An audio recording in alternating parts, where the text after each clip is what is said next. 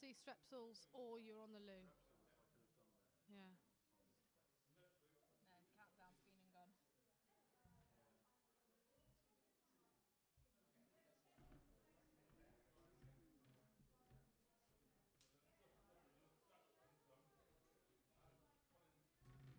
Oh. Need to sing happy birthday to Derek. It was his birthday on Friday. Yes. Yeah. Do you want me to write it on Ian's note? Yeah, go on. I don't have a pen. I can't.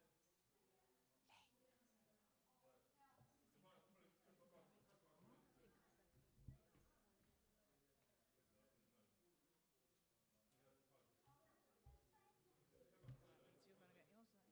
Are you not intrigued?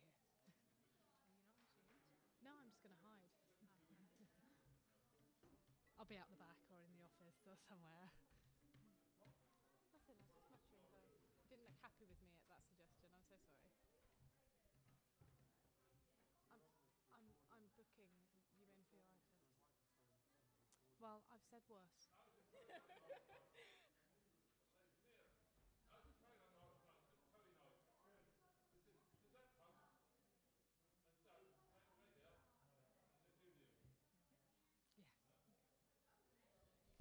Does my face come off? No, I was just You know, making no, sure. but you know when you're like, I don't realise that my face is doing things. like that one with the thing, yeah? I was like, oh, my eyebrows say a lot of things. Mm, no. Deary me.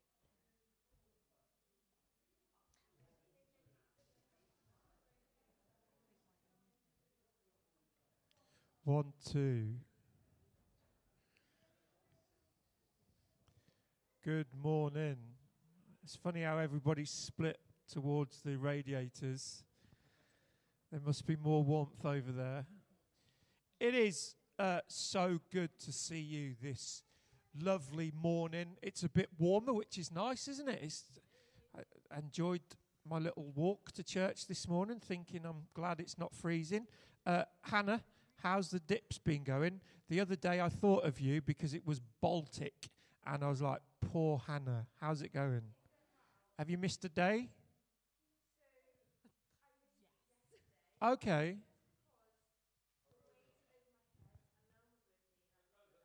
Okay, so you didn't go in. Okay. Right. Right. Just uh, just recall how cold you've been this week and think of poor Hannah in the sea. Poor, poor Hannah. Oh, Do you get home and have like burn your face off in a hot shower?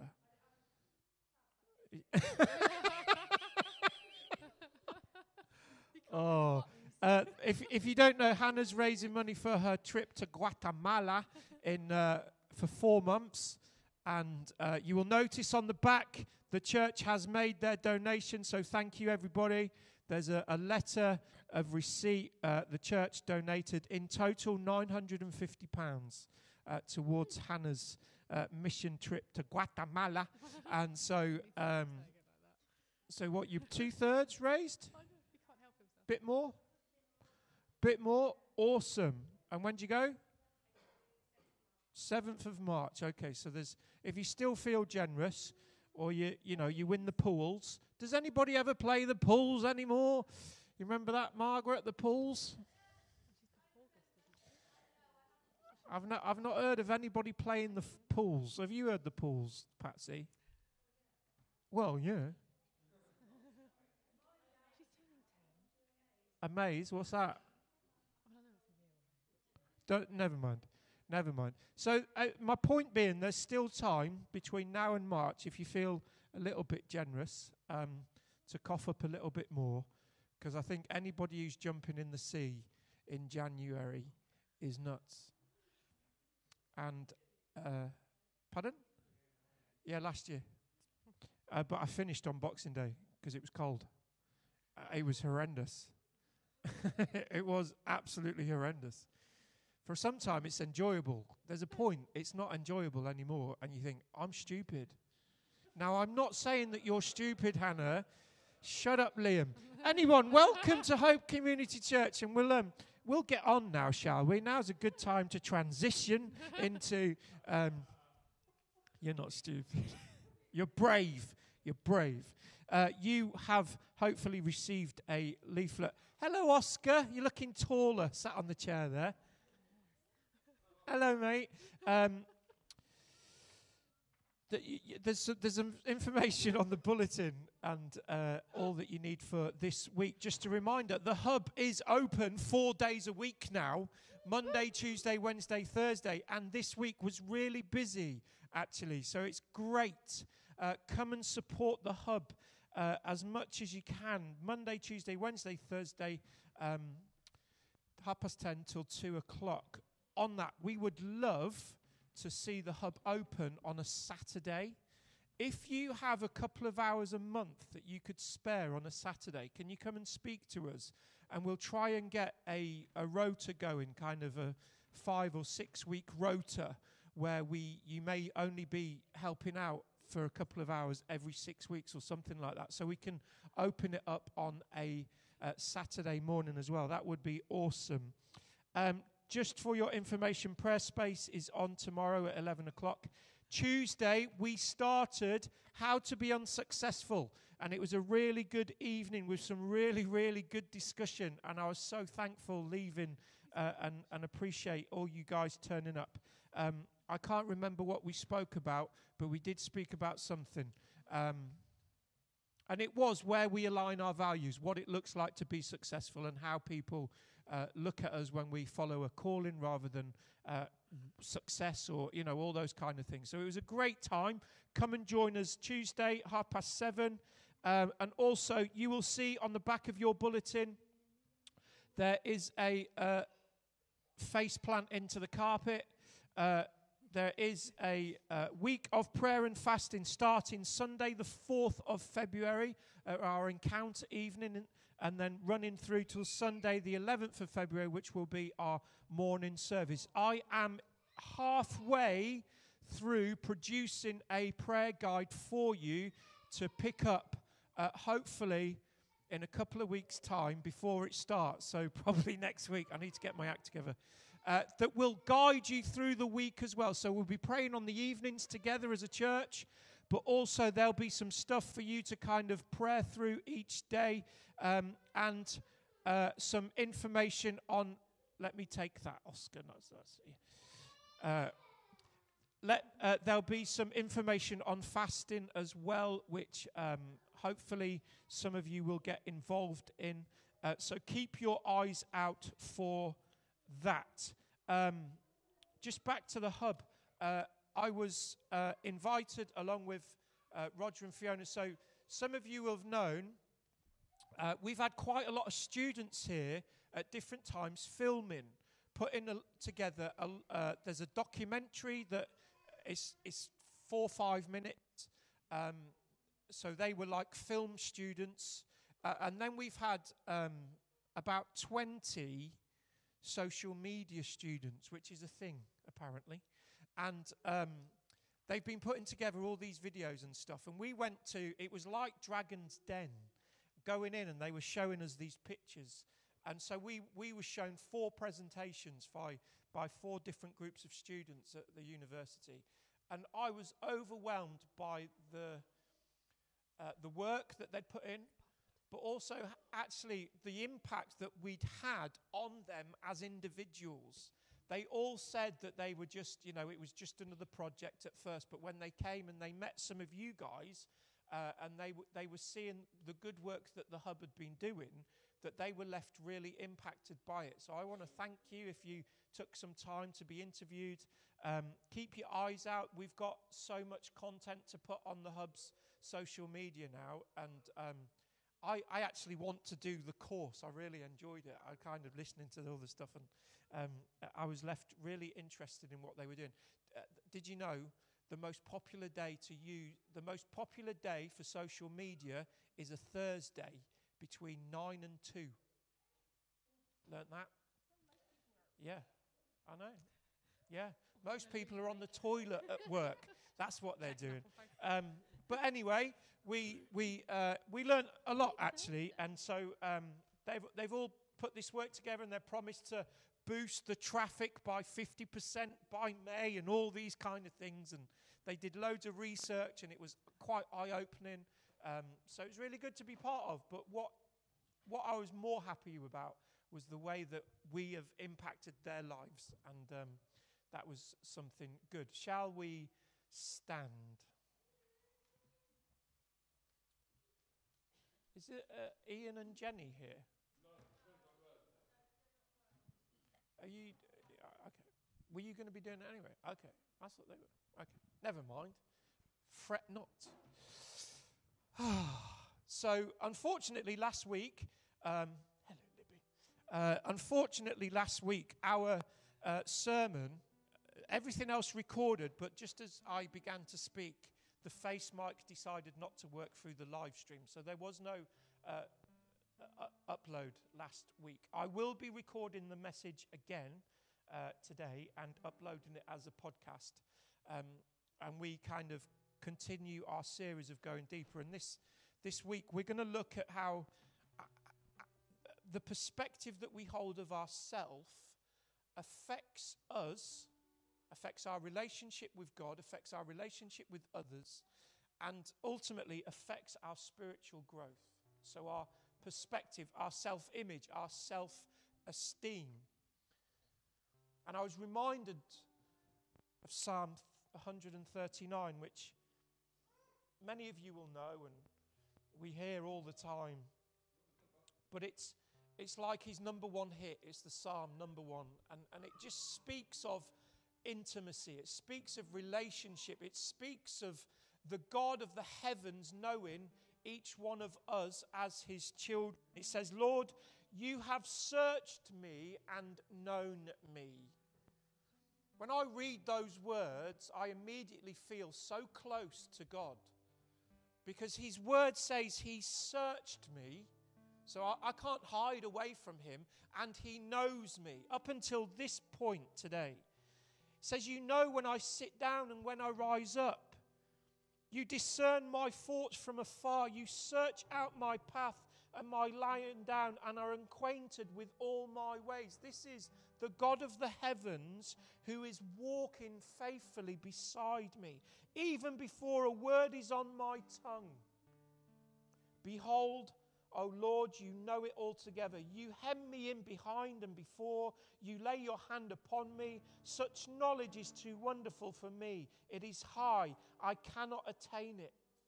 Where shall I go from your spirit?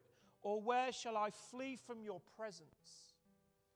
It goes on. There's, it's a great psalm. If you ever need reminding of who you are, Psalm 139. How precious to me are your thoughts, O God. How vast is the sum of them. If I would count them, they are more than the sand. I awake and still I am with you.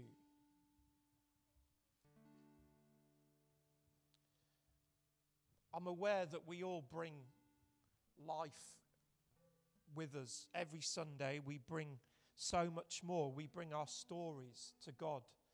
And our stories affect our relationship with God in so many ways. But I want you to know this morning as we set out together as church that He is with you, He's close, and He knows, and He sees, and He's for you. He's not against you, and He understands you, and He delights in you. Thank you, Jesus. Thank you, Father, that we are drawn into your presence this morning. And that, Lord, we don't need to perform right now. You, you're not going to judge us on the shoes that we wear, you're not going to judge us on the state of our hair. Lord, your arms are open wide this morning to your children. And we just simply come. We just simply come with an open heart and a, open hands to receive, Lord, all that you have for us this morning. We pray, Holy Spirit, that you would minister to our hearts, that you would minister to our minds, that you would bring peace, Lord, where we need peace, and that you would just begin to speak those words over us again and again and again. I know you, I'm for you, I love you, you are mine. I know you, I'm for you, I love you, you are mine. I know you, says the Lord. I'm for you, says the Lord. I love you, says the Lord, and you are mine. And that's why we celebrate this morning. That's why we worship this morning, that we are part of his family, that we are children of the King. And we get to delight in him this morning. And so we're going to sing, we're going to celebrate. Feel free to dance if you feel like it. But let's worship Jesus this morning. In Jesus' name, amen. Are you dancing? Yeah, good. Come on.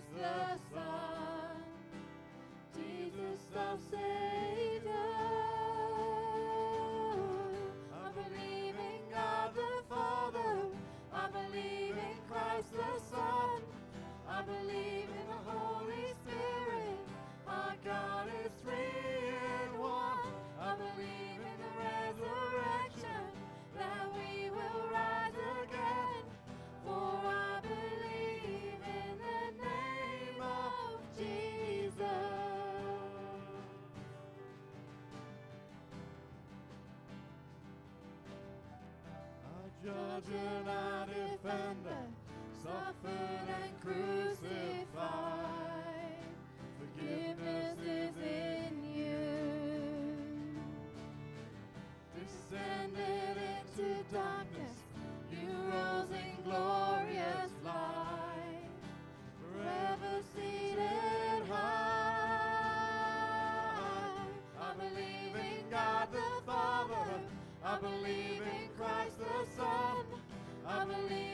Holy Spirit. Our God is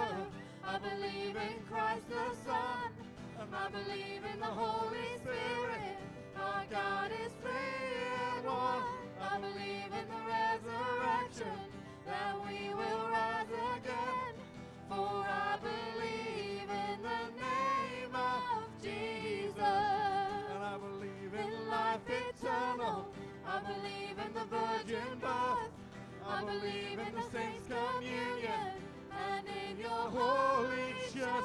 I believe in the resurrection when Jesus comes again.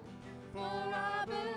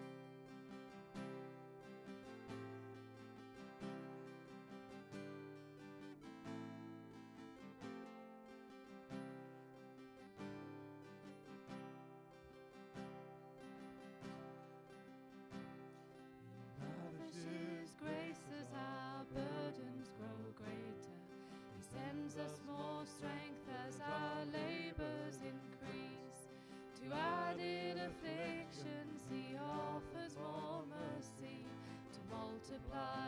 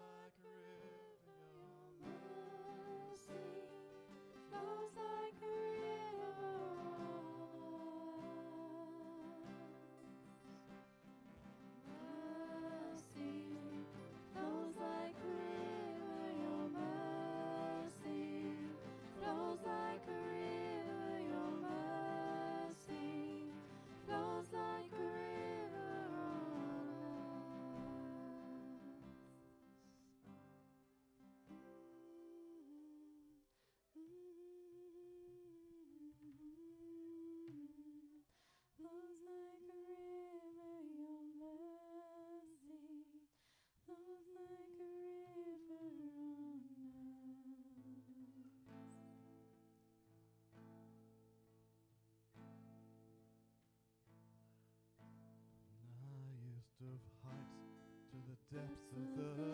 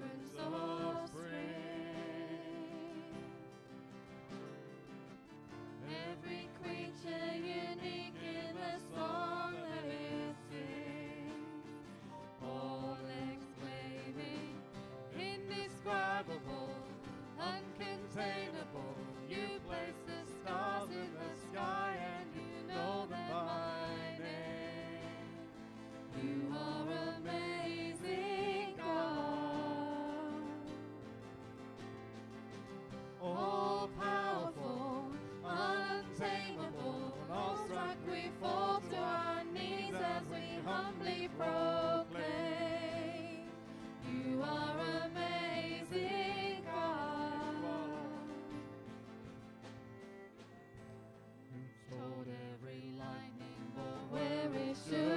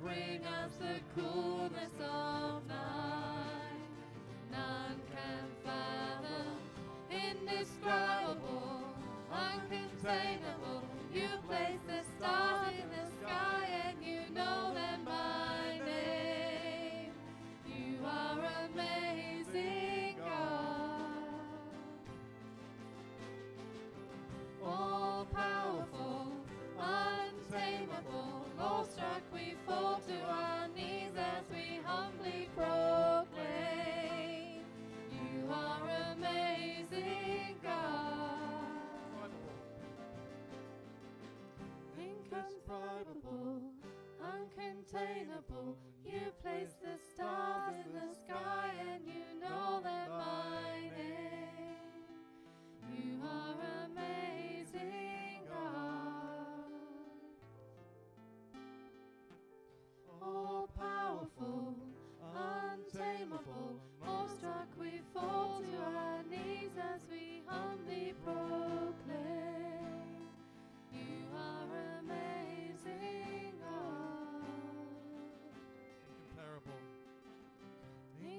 Incomparable. Incomparable,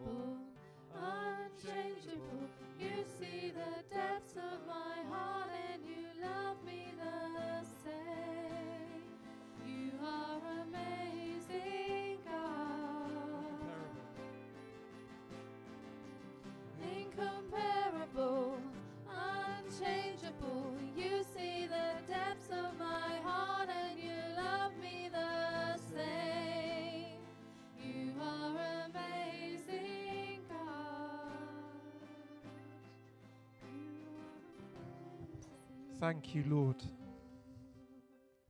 Thank you, Lord. Keep playing, guys. You know the depths of my heart, and you love me the same.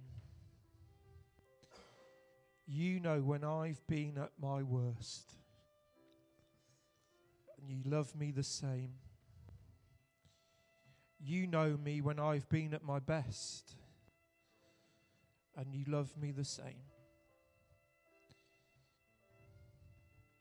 You know me. The God of the heavens and the earth, who breathed life into being, knows the depths of my heart and loves me the same. He has a purpose for my life. He has a plan for me. He cares for me.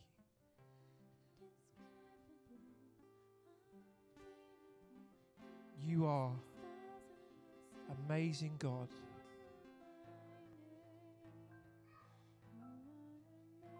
Thank you, Jesus. Lord, I pray that we would be able to fathom, comprehend, understand, Lord, the depth of your love for each one of us.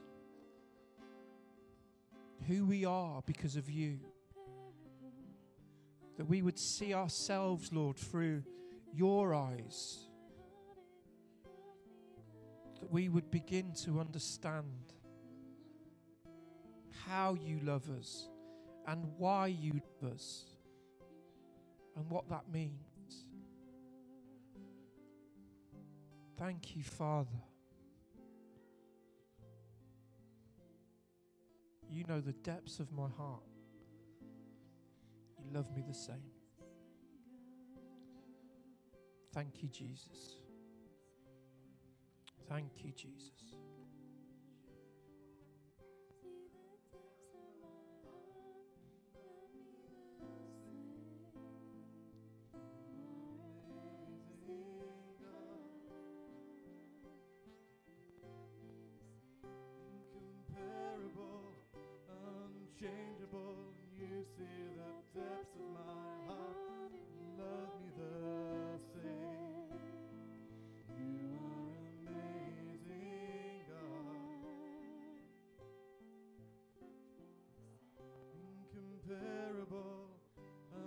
Unchangeable.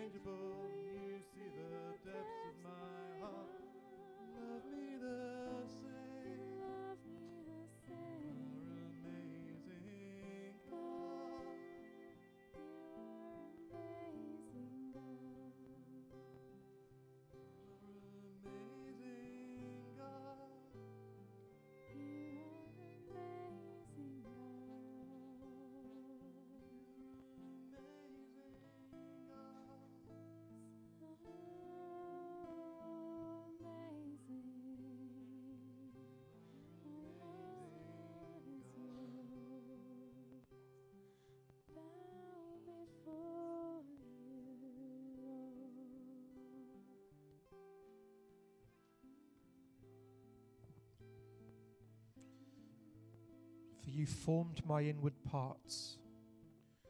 You knitted me together in my mother's womb. I praise you, for I am fearfully and wonderfully made. Wonderful are your works. My soul knows it very well. My frame was not hidden from you when I was being made in secret, intricately woven in the depths of the earth. Your eyes saw my unformed substance. In your book were written, every one of them. The days that were formed for me, when as yet there was none of them. How precious to me are your thoughts, O God! How vast is the sum of them! If I would count them, they are more than the sand. I awake and I am still with you. Search me, O God, and know my heart. Try me and know my thoughts, and see if there be any grievous way in me, and lead me in the way everlasting. Amen.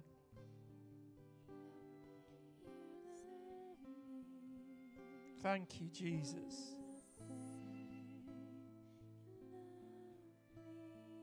Thank you, Lord. Lord, our hearts respond to these truths today.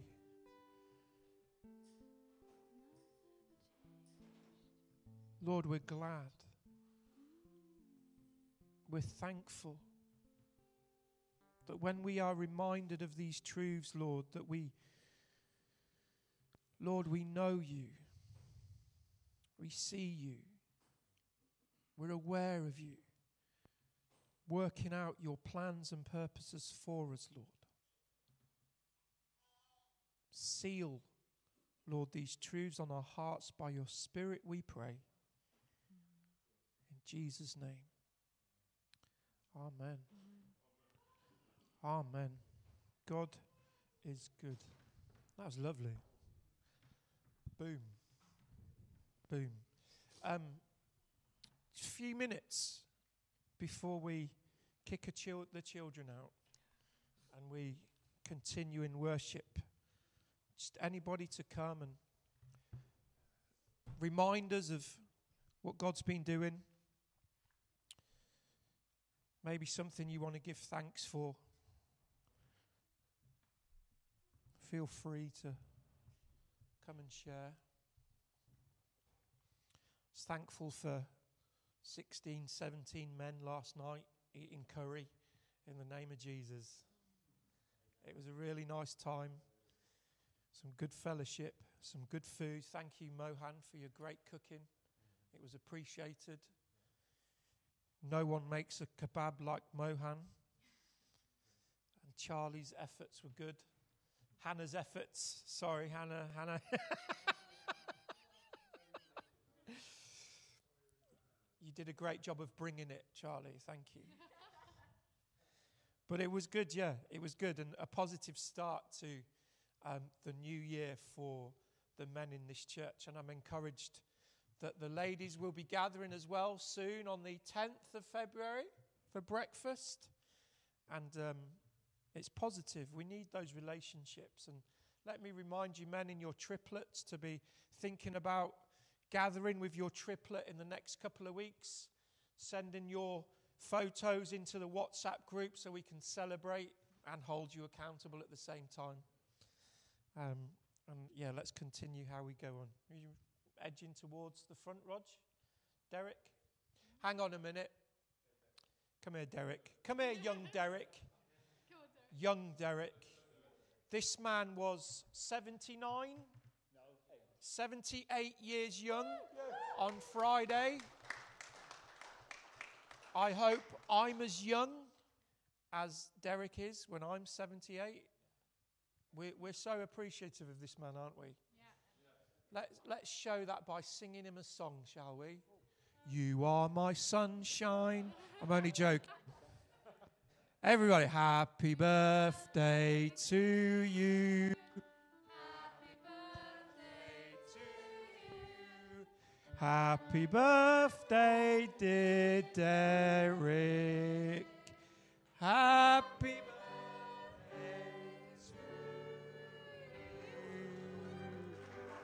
Yay. Yes, thank you. Um, I've had a great birthday, and um, I had 14 cards, which is amazing. Um, I was waiting one to come from Australia, but like he says, he doesn't send cards, so I wasn't expecting it, but it would have been nice. But never mind, I can get over that. But thank you for uh, Glynis. I've got my lovely new pullover on. Whoa! And my socks. Whoa! and I'm, well, yeah, maybe. but, you know, the Lord's so good, isn't he? And uh, I just want to give him all the praise. Thank you, Lord. Amen. Thank you, Derek. Come on, Dodge. Um, I just want to thank Fiona, who's not here, bless her. She's not well. She's curled up on the sofa, recovering from this COVID, and it's her birthday tomorrow. So I would love it if we could all just sing a happy birthday to give her a, a boost, because she would love to be with you guys today. Okay, rendition. Birthday to you. Happy birthday to you. Happy birthday, dear Fiona. Happy birthday to you.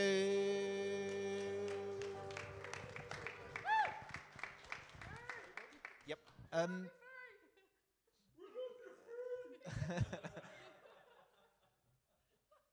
okay. On another note, on another note, we want to start um, uh, repairing this wonderful or restoring this wonderful chance of an American pool table that we have in the back. So I'd love some guys, volunteers to get behind it, ladies, whoever, to just start doing a bit of wood prep. Maybe take one leg home each. I don't know. We can all chat about it and get some momentum behind it, and then we could get this thing going perhaps in another month's time. So that, that's great. That's a leg. Anybody? It's a, I mean, they're big legs. They are big. Yeah, it's huge. There's four of them, and uh, yeah, come and come and grab one. Uh, good, good, good, good, good, good. Our little dear ones uh, can flee through the to the door on my left. David, is the is the speaker on in the crèche? David, he's ignoring me.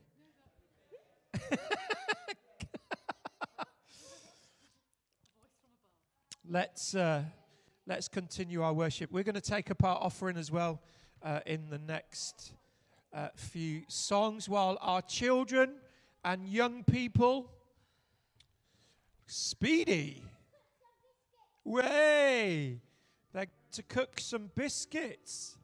Yes.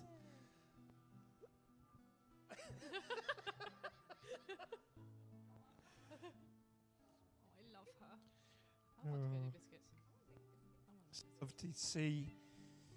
We've been having a great time on a Wednesday night with our children. A few new faces joining us, and it's still such a privilege just to be able to sit and uh, get to know them as families. And some of the kids, man, there's just they're lovely. They're trouble, but they're lovely, and just so thankful that we we are where we are. I, I really am. I really am, and we get to be part of what God's doing. Father, we thank you for your goodness. We thank you for your mercy that flows like a river every day in our lives. Lord, help us to be more present. Lord, help us to be more aware of the, the needs around us and to be your hands and feet, Lord, so that your mercy would flow into those around us, Lord, through us. In Jesus' name we pray. Amen. Let's worship.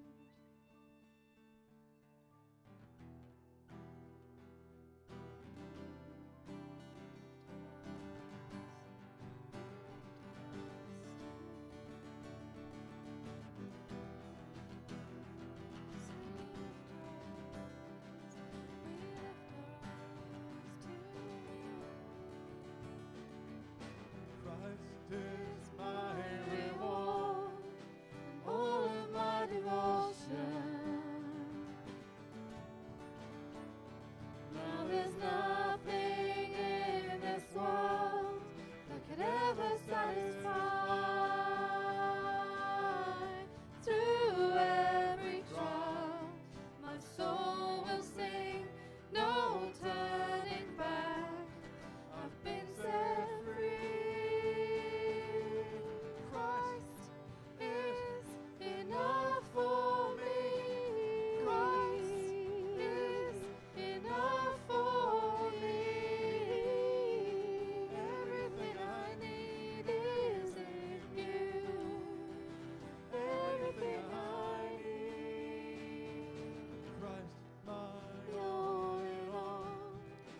joy in my salvation. And there's hope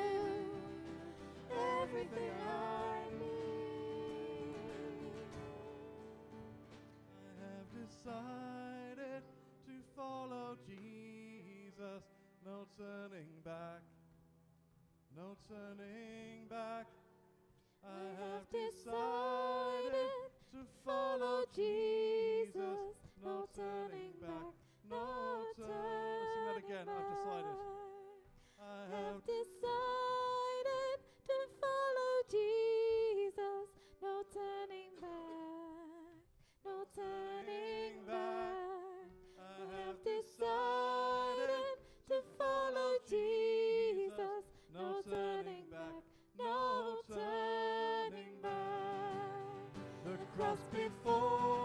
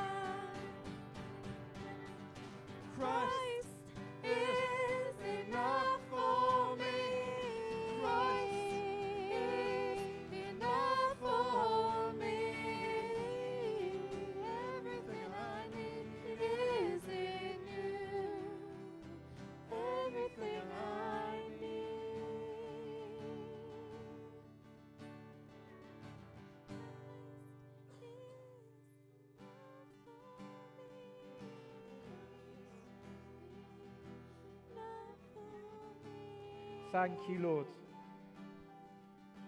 Everything I need is in you. Lord, whatever is in front of me today, tomorrow, this week, this month, this year, everything I need is in you. Your mercy flows like a river. Thank you, Jesus, that you are enough. Lord, there is nothing that this world can offer me that I don't find in you. Lord, you are authentic, you are real, you are genuine. You, Lord, you are truth. And this world will offer me so many, Lord, so much lies, Lord, deceit, fake, temporal. Lord, I could go chasing those things and find nothing at the bottom of it, Lord. But when I go chasing you, Lord, I find everything I, need. You are enough. You are enough. There is no turning back, Lord. I press on towards the goal, Paul says, that is found in Christ Jesus. The cross before me, the world behind me. No turning back. No turning back. Thank you, Jesus. Thank you, Jesus, that you are enough. And all God's lovely, happy, cheerful people said, Amen. Amen. Thank you, worship team. Why don't we say a quick hello to those around us before we get going with our message this morning? Tom, is this is it working on there?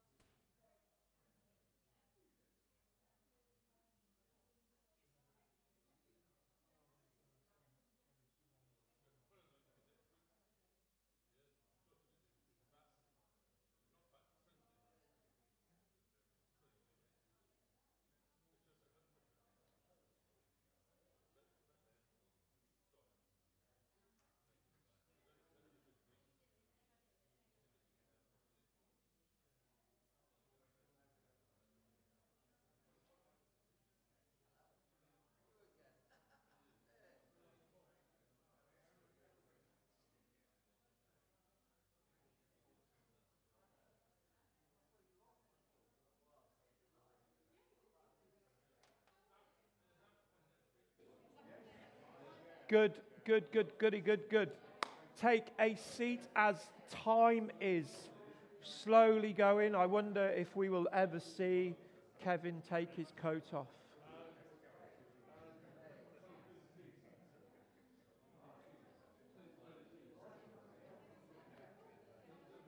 The cross before me, the world behind me.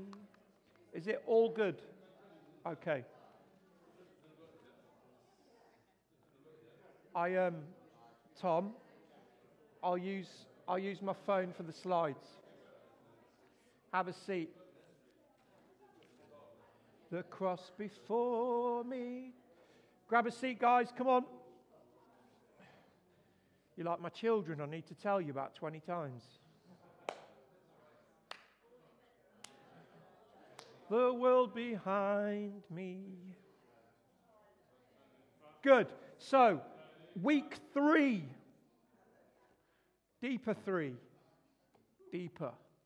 We are looking at this whole theme of going deeper and uh, started at the start of the year uh, with that picture and the, those words in Ezekiel 47 about going ankle deep to knee deep to waist deep to neck deep. And, and we're continuing that thought, thought of, of going deeper. And we'll, we'll look at some disciplines, we'll look at some areas that we can go deeper later on as we go. But I, I want to just kind of wrestle with this whole thought of going deeper over the next few weeks and uh, what it, what it what it means for us as people, uh, uh, some of the challenges, some of the practical things that we can do. Because I, I, I think we all want to grow this year, don't we, in some shape or form, whether that's um, who we are as individuals, whether that's in our calling, whether it's in going deeper with gifting or in spiritual disciplines. And, you, you know, let's not, let's not set ourselves stupid goals. Um, but realistic things. And maybe you just want to grow deeper in your prayer life. Maybe you just want to grow deeper uh, in, in, in your gifting and, and, and begin to discover that a little bit more, whatever it is. There are, there are things that propel us, there are things that accelerate us, there are things that hinder us, there are things that set us back. There's all kinds of things that will get in the way of each one of us going deeper. And last week we set out that actually going deeper, first and foremost, is a choice. We have a choice. We make a choice. It's a choice that actually we discovered last week is a, is a commandment that we receive from, from God to be disciples, to continue learning, observing. And as we journey deeper, God helps us and ultimately we receive his blessing for the growth that happens within us. So, our, our, our, faith journey of being a disciple, it doesn't, it shouldn't stay stagnant. Stagnant water has nothing coming in and nothing going out, it becomes a dirty old pond.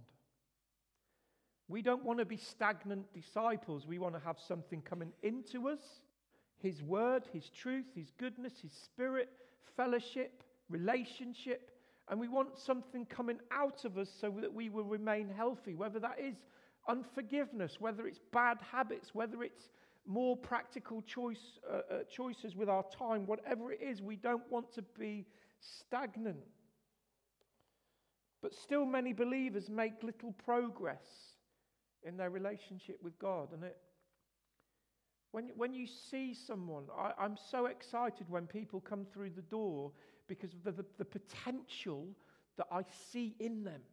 The potential that I see each one of us have, the potential that God has placed inside of you. And nothing saddens me more to see somebody not living in that potential, to not see that their best life being lived in God.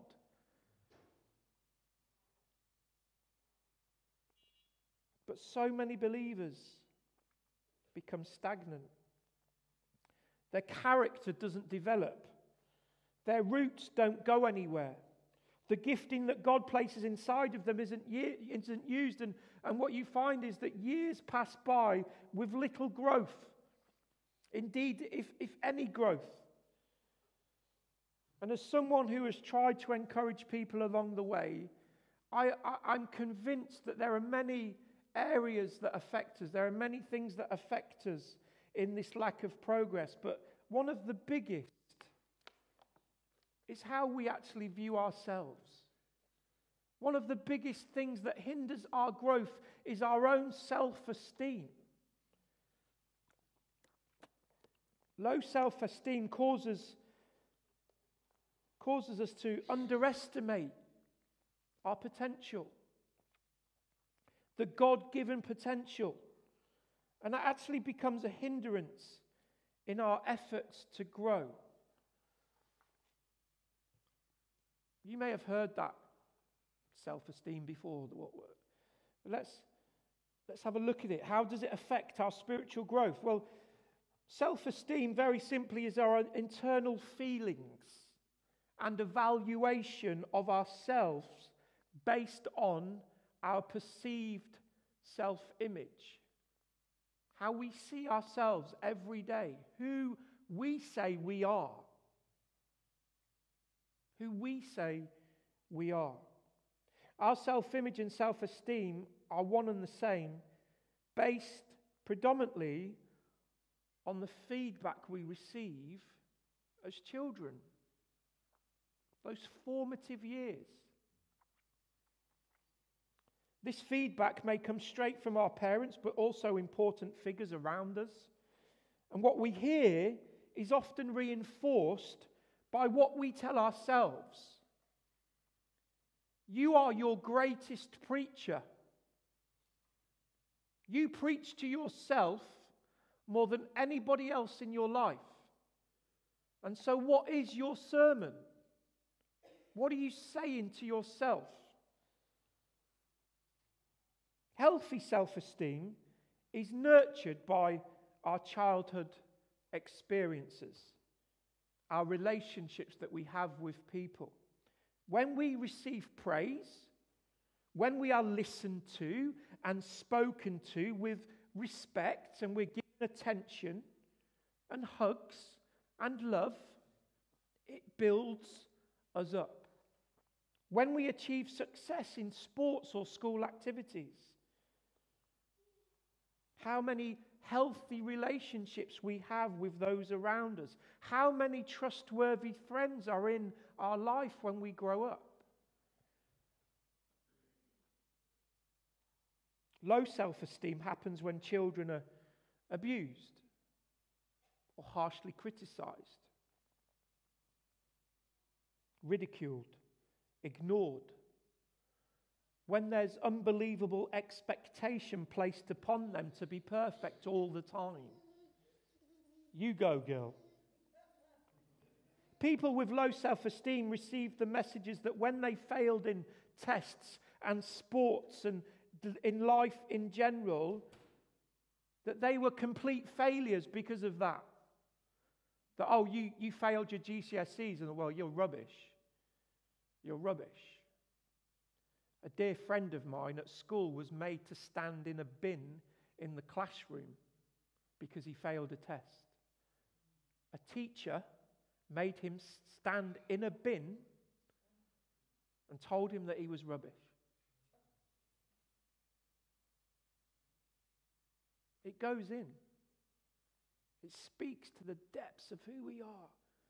And it's powerful.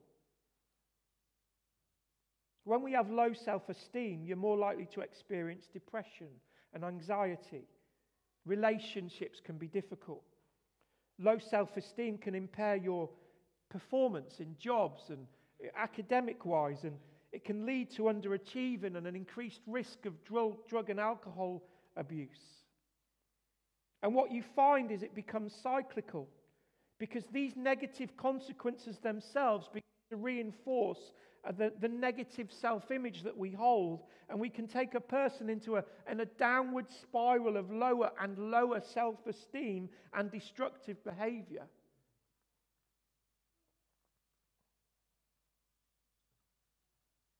For some, it can take a lifetime to turn things around.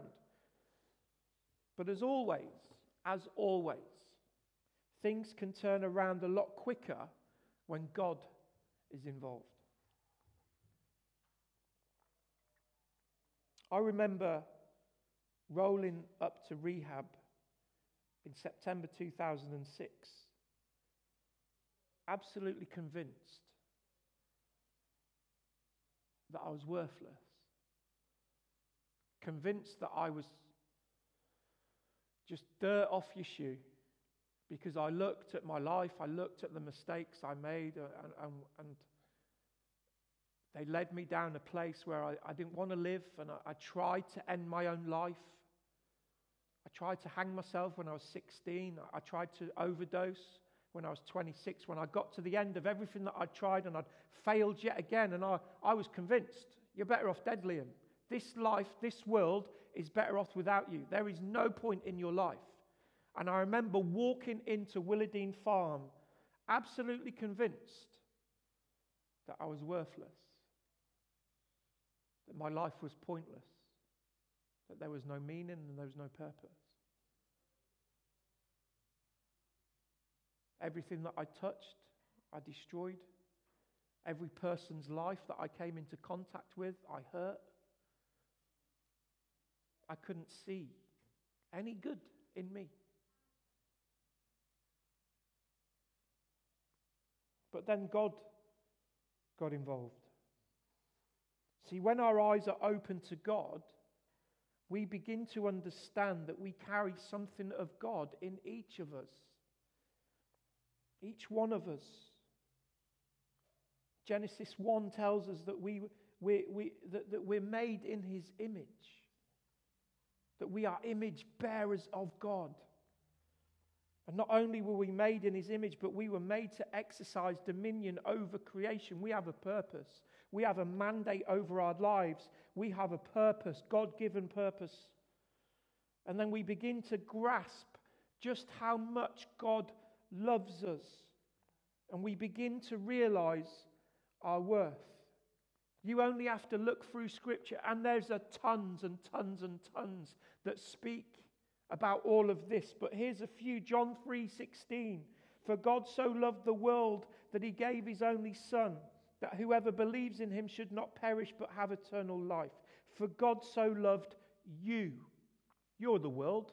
God so loved you that he gave his only son, that if you believe in him you will not perish but you will have eternal life. 1 John 4:10 In this is love not that we have loved God, but that He loved us and sent His Son to be the propitiation for our sins. That's a very big word. Propitiation. But He put us in place. Jesus took our place while you were at your worst. When I was sat outside a post office waiting for people to rob, Jesus still loved me and died for me worst moments. There are a few. And after, every now and again, I take myself back to those moments. Jesus, then.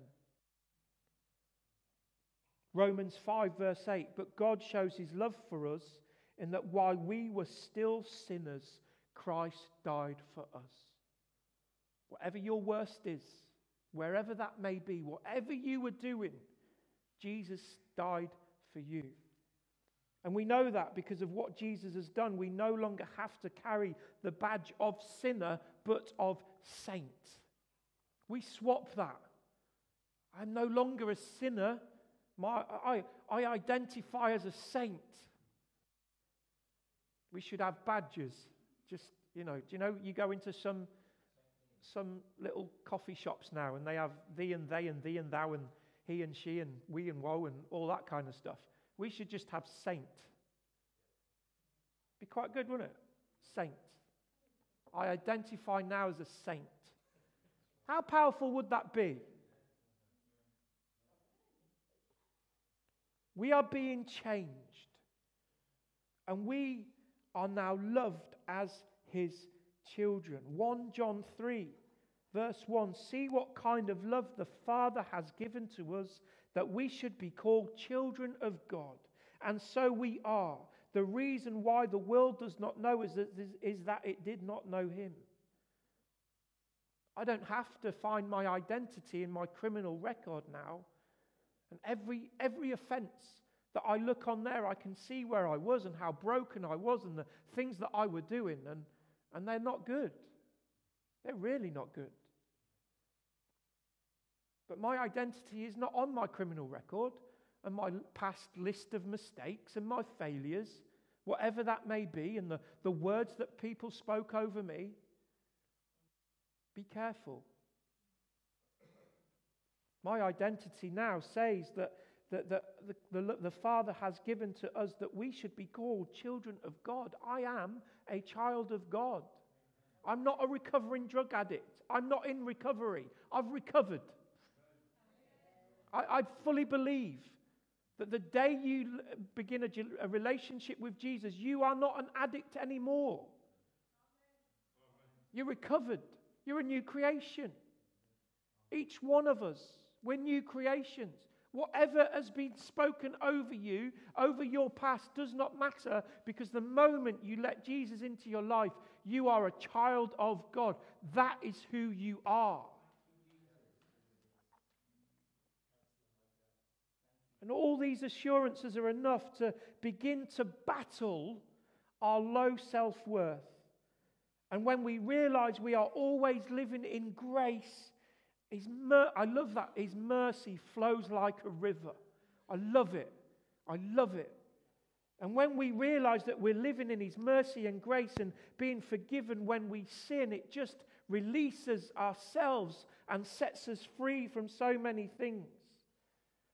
1 John 1 9 to chapter 2, verse 2. If we, confess, uh, if we confess our sins, he is faithful and just to forgive us our sins and to cleanse us from all unrighteousness. If we say we have not sinned, we make him a liar and his word is not in us.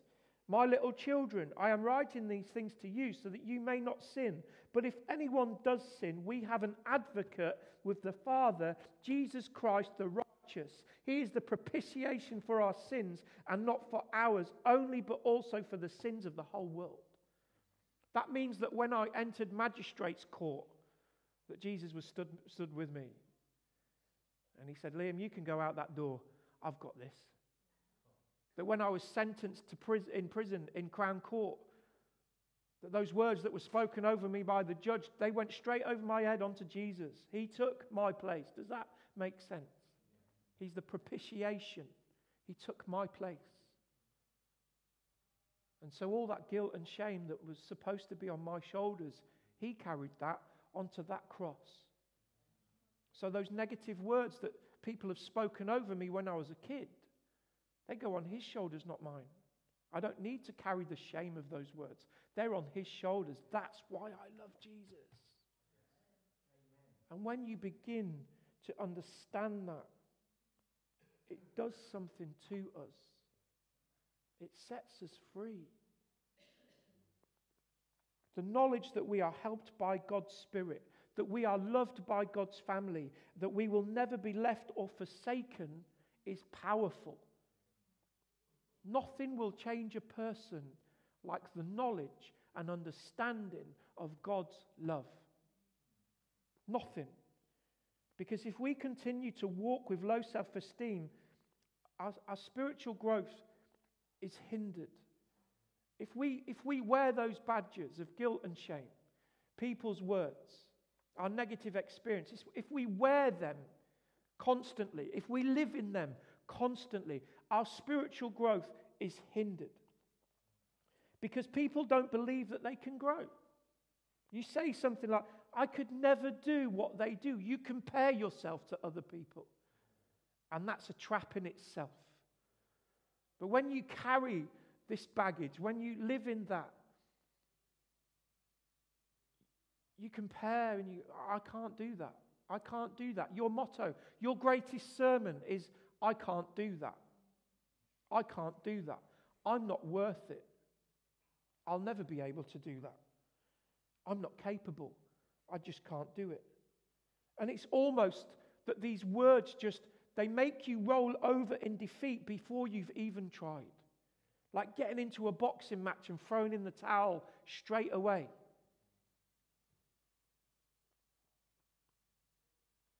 Sometimes,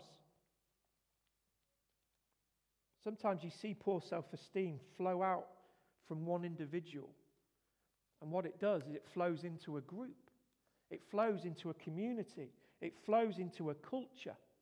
And you hear things like, well, we're, we're just a small church and, uh, you know, nothing ever happens here.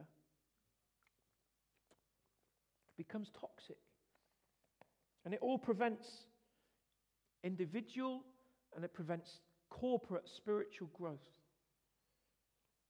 But when we have a good, healthy self esteem, our spiritual growth is enhanced, it's propelled, it's accelerated. If you think of Paul and his own self esteem, how he viewed himself because of Jesus, I can do all things through him who strengthens me. If you just changed, I can't, I won't, I'm a failure, your greatest sermon, into this I can do all things through him who strengthens me. I can do all things because Jesus strengthens me. If you just can change that sermon in your head, I can do all things, you will begin to walk into growth. That's healthy. And then just look at how he, how he holds other people, how self esteem is, is projected on other people. Philippians 1, verse 6 I am sure of this, that he who began a good work in you will bring it to completion at the day of Jesus Christ. I know, I see. When you begin a journey with Jesus, he brings about that work to full completion and that nothing is ever wasted. And things begin to grow in your life that he is going to cause to just bring about health if you let him. Look what he says in Philippians 2. Therefore, my beloved, as you have always obeyed, so now, not only as in my presence, but much more in my absence, work out your own salvation with fear and trembling. For it is God who works in you, both to will and to work for his good pleasure. God is at work in your life for his good pleasure. He enjoys working in your life. He enjoys bringing about growth in your life. Paul sets a great example of how we should view ourselves when it comes to following Jesus. I can do all things through Christ.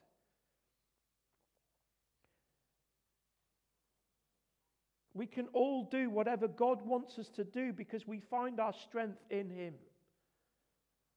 It's like Jesus calls me to be the heavyweight champion of the world and he pulls me into the ring. And then he goes and knocks the fella out before I get a chance to do that. I can do all things because of Jesus.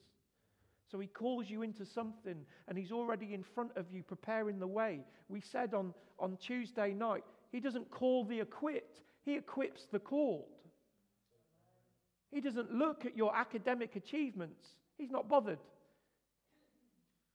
in that sense. He equips the called.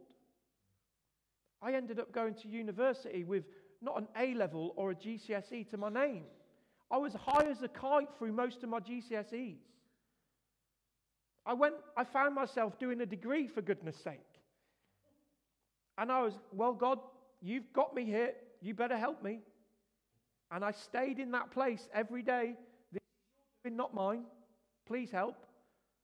And He equipped the called. And I graduated and I got married and I had a lovely little boy and all that kind of stuff. But I could have sat there and went, I can't do that. I can't do that. No way. But I was so fired up of Jesus, I just went at it. Jesus is going to get me through this. I can do all things through Christ who strengthens me. I'm no longer a dirty smackhead sticking needles in my arms in Norwich public toilets. I can do all things through Christ who strengthens me.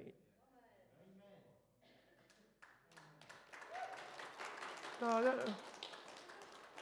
It's just practical, how it applies to our lives. Because we need to apply these truths. I am not being a motivational speaker to you this morning. This is the power of the gospel at work in your lives. He takes you out of your pit of filth and despair. He takes you out of the kingdom of darkness and he puts you in the kingdom of light and he kicks, a, kicks you up the backside. Go and be my child. You can do anything that you want to do because I'm for you and I'm with you and I love you. Hello?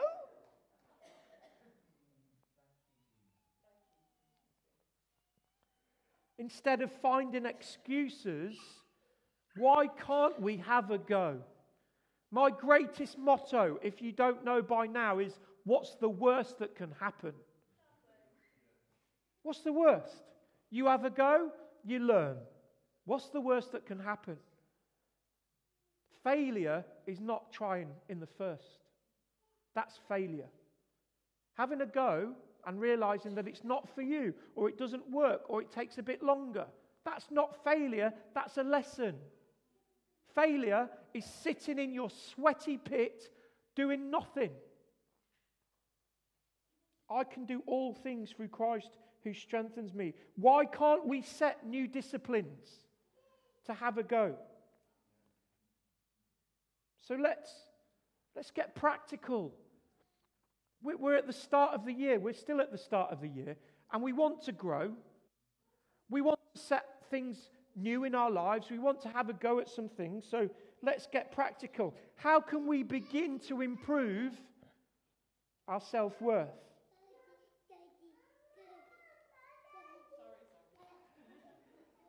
They just went up, little mischievous. They're all, ah, let's go. That's great. Oscar and Rosie terrorizing us. How can we begin to improve our own self worth? Like, we've all got strengths, okay? We all have strengths. There are things that you do that I can't do. I can't play a violin. I can't sing. One of the things that I used to carry with me was my experience with a choir at my first school. I thought I could sing. And I sang as loud as I normally do, as joyful and melodic as normal. But the, the, the choir master, Mrs. Clark, she came and she was like, This half, stop singing. I was on this half, and I'm still singing. And she went, That line, stop singing, and I'm still singing. And then she That line, stop singing. You stop singing, you stop singing, I'm still singing, you stop singing, you stop singing, until eventually I'm still singing. I'm the only one singing. She went, You, out, you can't sing.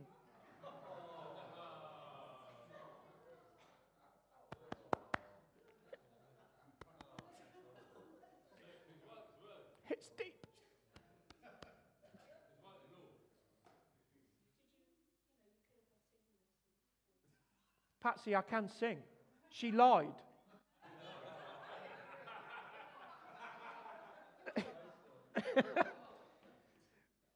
But these things, we carry them, don't we?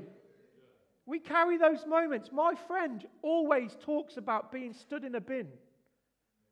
That's a powerful memory of him. And I always remember this singer, boo, boo, boo, boo, boo, out, you can't sing. And I really wanted to be in the choir. What was my point? We've all got strengths and weaknesses. That's why we're together. That's why Paul calls us the body. There are things that you do that I can't do. There are things that you need to be doing that no one else can do in us as a body. God has given you strengths and He's given us weaknesses. Begin to identify them.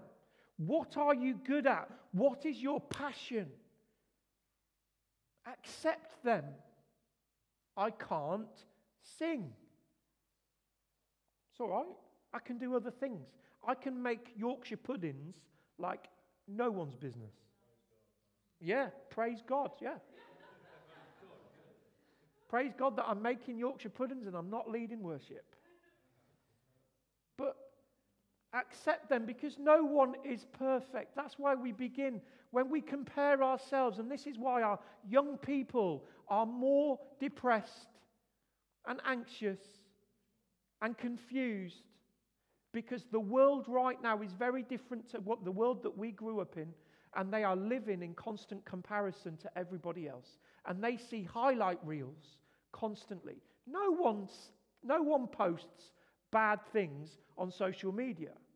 People only put their pictures on when they look the best, when they've had the best time. And our children are living like this is reality. So don't compare yourself to others. Accept your strengths, accept your weaknesses. It's okay. We're not perfect. Begin to encourage yourself and other people. Remind yourself that you can. Positive attitude is a powerful thing, and it's rooted in His love. In His love. Not your own academic achievements in His love. Set yourself some realistic goals that you can reach. There's nothing like something to dishearten you if you set some stupid goal and you just can't attain it. Set you. Realistic goals that you can reach. And when you do, make sure you celebrate. I look at the God of the Bible, and He's a God who loves feasts and festivals and celebrations. So let's celebrate. Let's celebrate and make sure you give God the glory too. I couldn't have got through university without God by my side, and He continues to amaze me. If it wasn't for Him, I didn't do it. I really didn't do it. He gave me a wife to check my grammar. He knew that my English was terrible. He says, I'll bring someone to help you. Grammar. Thank you, Jesus. Don't try to be anyone else. You can't wear their armor. And God doesn't want you to be someone else. He didn't, there she goes again. He didn't create you in the womb for you to suddenly go, I don't want to be me, I want to be someone else. He didn't want that of you. He wants you to be you. Don't try to be anyone else. We don't need you to be someone else. We need you to be yourself. And explore what you're good at. Learn to appreciate the unique person that you are. We are all fearfully and wonderfully made. Some of us more fearfully than wonderfully, but that's okay playing golf with a cookie and a noodle. Be you. God loves you. We love you, and you should love you. Does that make sense? Doesn't it? And so remember that you are the biggest voice. So try to eliminate the negative voice. Do you know they reckon it takes 20 positive statements to cancel one negative statement? That's powerful, isn't it? So once we get a few of those positive things in our head, we can use them again and again and again, combating any negative speak. I walked into rehab September 2006. I graduated from rehab. I was baptized and I went off to Bible school. I was in rehab for a year and I did loads of land based things. I, I did my maths and English CQCs. I did so many things, and it gave me this portfolio. Port, port, portfolio. Folio, folio, portfolio. It, it gave me a portfolio, polo. And um, I had something in front of me that I was like, wow, I've done this. I've done my chainsaw courses. I've done my tree climbing courses. I'm safe to use a chainsaw. Believe, no, I am. I am. Shush. I, have done pesticide training. I, I, I could mix chemicals like no one can. I did all this stuff, and it's there in a book, in a, in a, in a folder.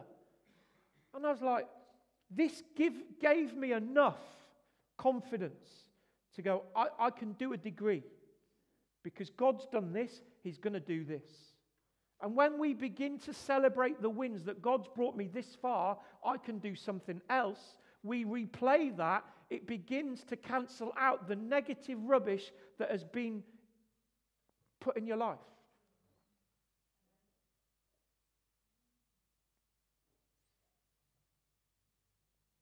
So let's remember this as we close. if we really want to go deeper in whatever areas we may have already identified in our lives, it's important that we get to grips with our self esteem. Poor self esteem is a major hindrance to spiritual growth. We make excuses for not trying, and we often give up before making any progress. If we can turn our self esteem into positive, we can really enhance our spiritual growth. And as we grow, our achievements encourage us to do more. As we grow, we gain confidence and we know we are on the right track. So rather than let our negative estimation of ourselves hinder our growth, let's allow God's estimation of us to build our self image and our self esteem. Let's allow God's estimation of us to encourage the spiritual growth that He desires for each one of us.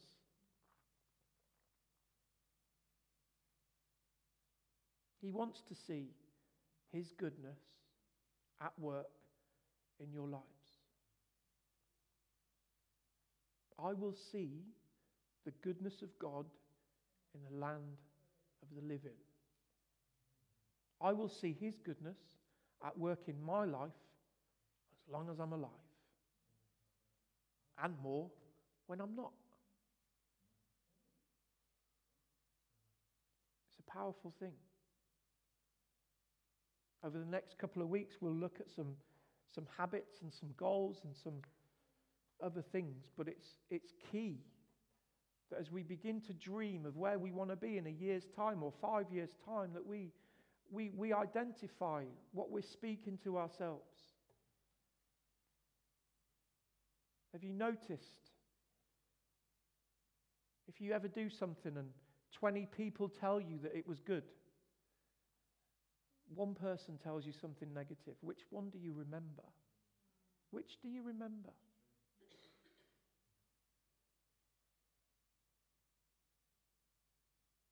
God wants the best for us. And it starts with who we are. We're going to close with a song now. If you want prayer, feel free to come forward. Powerful words I am who you say I am. Make this song your prayer as we close for this week, for this year.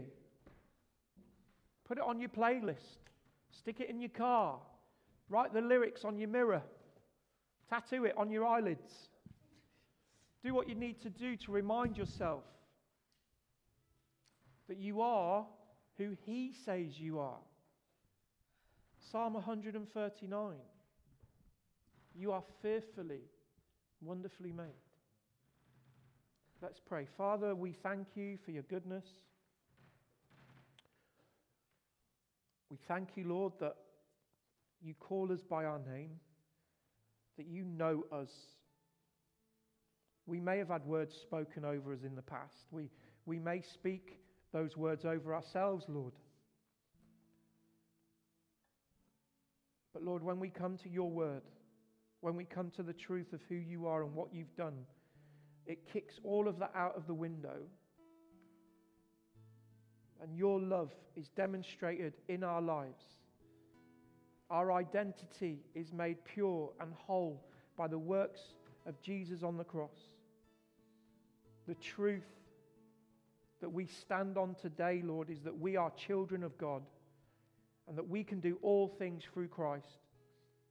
Lord, help us make sure that we're doing it through Christ and not our own efforts, that we're doing it through Christ and not some motivational speaking, that we're doing it through, through Christ, His death, His resurrection, His ascension, and the power of the Holy Spirit, not in our own efforts, because it will fall. Holy Spirit, propel us. Holy Spirit, accelerate us. Holy Spirit, set us free from those words, from our failures, from our mistakes. Set us free from the past and release us into the future. Because I am a child of God and I am who you say I am. Amen. Amen. There's going to be some space at the front for ministry. Myself and Roger and Patsy will be here for prayer. Stay seated if you want. Stay in prayer if you want. If you're not comfortable, please just leave quietly through the door and then you can talk to your friends in, over a tea and coffee. We're just going to do some ministry in here. Stay as long as you want. Thank you, Jesus. Thank you, worship team.